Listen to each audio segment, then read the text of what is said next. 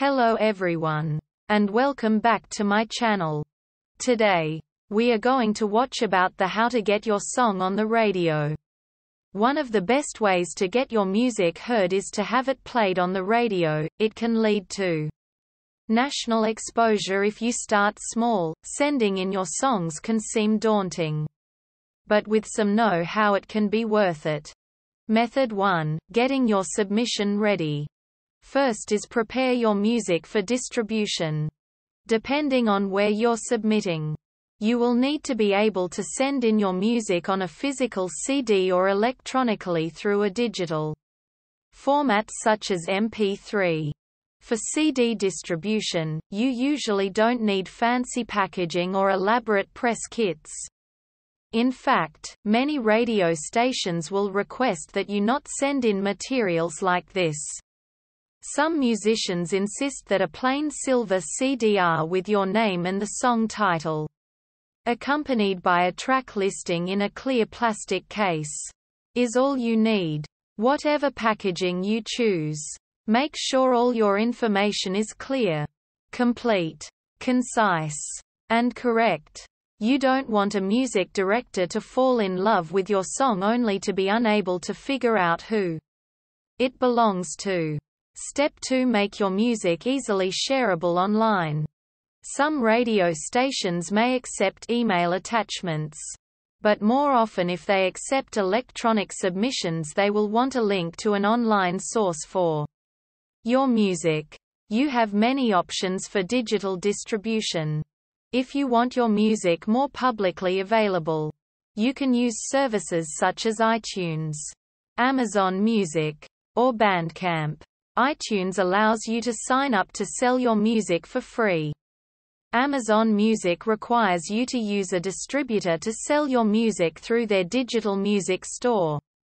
Bandcamp is also free to sign up and is becoming increasingly popular with artists. Examine several options and choose the best for your situation. You can also get your music online by using websites such as YouTube or Vimeo. Read the terms and conditions for any website carefully. You want to make sure you keep your copyright and permission to sell your music. Sites such as SoundCloud, Mediafire, and SendSpace operate legal file sharing services that allow music directors to download your music without having to worry about viruses and other safety issues. Finally, compose a press kit, you may or may not be requested to submit a press kit with your music. However, it doesn't hurt to have one ready to go. Most press kits include several basic elements that will help people get to know you quickly. Write a cover letter. This should be addressed to the person to whom you're submitting your music. Include your contact information, any web pages, YouTube, Facebook, website, etc that you have, and basic information about your music genre, themes, etc. Write a short biography. This should be a short description of you or your band, if you have one, and your accomplishments so far. You can talk about your influences and interests here, but keep this part story-oriented. Consider it like your introduction to a new friend. Create a fact sheet this should include the essential information about you. Name. Style of music. Other artists, bands you are similar to. Instrumentation. Etc. Indicate a focus tracks. Some radio programmers might listen to your whole album. But many will start by listening to one track which will be decisive. Feel free to pinpoint a focus single. The challenge here is to select a single, a track that is both representative of your musical style and that also has a strong potential for listening. Method 2. Researching the radio scene. First is determine your radio options. The genre of music you play will help to determine the radio stations that are likely to play your song.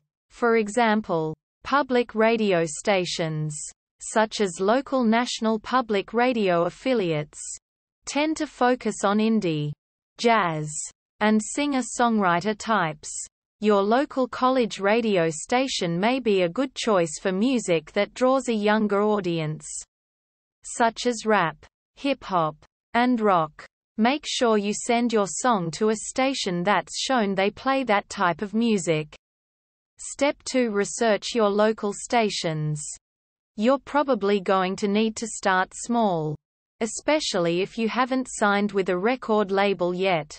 College radio stations are excellent places to get your start. Because they tend to be open to playing new and less mainstream music. They also tend to be less driven by advertising and business concerns than commercial radio. So they might be more willing to take a chance on your song. However, commercial radio stations may also be interested in your music. Especially if you're a local act. So check out the websites for the stations in your area. You can find radio station locators on the Internet. These will allow you to search by state, city, or country. Look for titles like music director, station manager, production manager, or DJ. These are usually the people in charge of receiving, selecting, and playing new music. If you're not sure whom to contact, try calling the station's general information line and asking to be connected to the person in Charge of music programming. You can also call in to the station during a specific program. Often, DJs answer the phone during their programs and you can ask them about getting your song on air. This works particularly well if you call a show focusing on the genre of music you make. Step 3 Consider alternative radio. Internet radio is still broadcast radio's younger cousin but it's another venue for emerging artists. Many Internet radio stations allow, even welcome, submissions from musicians who are new on the scene. Pandora allows direct submissions. Amazing Radio. Com is another online station that accepts independent and emerging artists. Live 365 Com will host your music in their music library, which will allow their online stations access to it. Step 4 Make connections. Many DJs and radio stations have social media accounts now. Follow them on Twitter and Facebook and check out their blogs and playlists. You'll have a better chance of personalizing your submission if you know who you're sending your song to. You can also reach out to radio stations and DJs through social media. A tweet to them about your music will get your name out there without seeming overly aggressive. Finally, read guidelines carefully.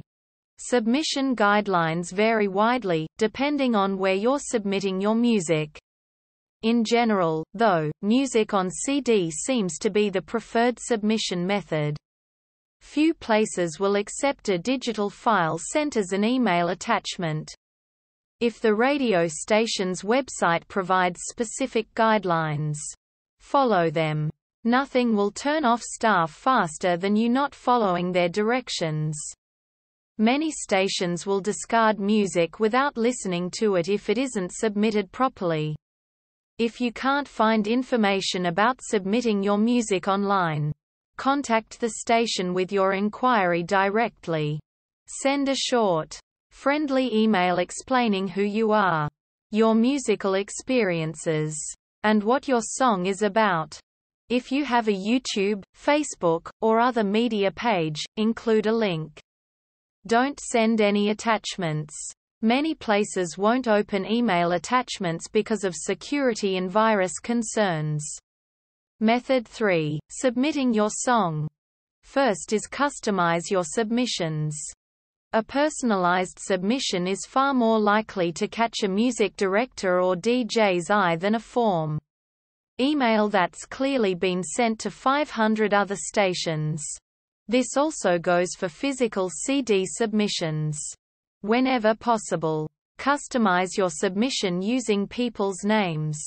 If you can find them and a brief statement of why you fit in with their stations feel.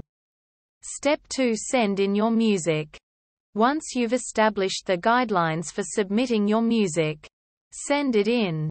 Give complete information, your contact info and the CD's track listing are essential, but don't send anything that isn't asked for. Step 3 Wait. It can take days, weeks, or even months for your song to make it into the hands of a music director. Especially if you've sent it to a larger station. Don't harass people with calls or emails. Remember, they get many submissions from hopeful artists just like you. And it takes a while to listen to everything. The radio station may give a time frame for responding to you. If it's past that time frame, a friendly email inquiry is appropriate. But try not to sound accusative or angry. A simple email asking if the music director has had time to listen to your submission yet will suffice. Finally, prepare for rejection. It's always awesome when an artist gets a big break. But there are many artists and bands out there and only so much radio space. You may be rejected from the first several stations you contact, and that's okay. Be persistent and patient. Being rejected doesn't mean your music is bad. We hope it is useful to you. Please subscribe to our channel.